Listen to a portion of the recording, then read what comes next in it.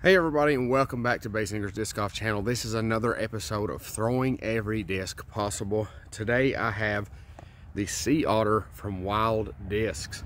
Huge thank you to my buddy Micah Milam for sending me these and a few other wild discs to toss. Uh, and I will be doing reviews on these as well.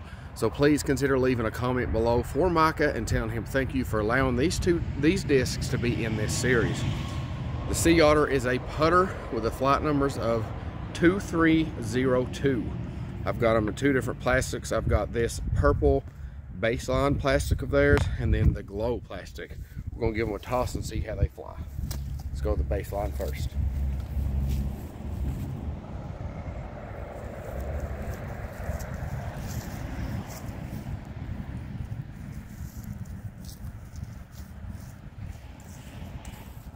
Okay. Now let's go with the glow.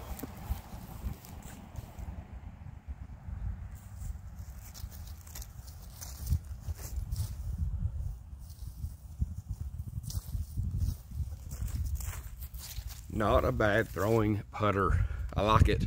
Thanks for watching. Please consider leaving a comment below and hit subscribe for more videos in this series.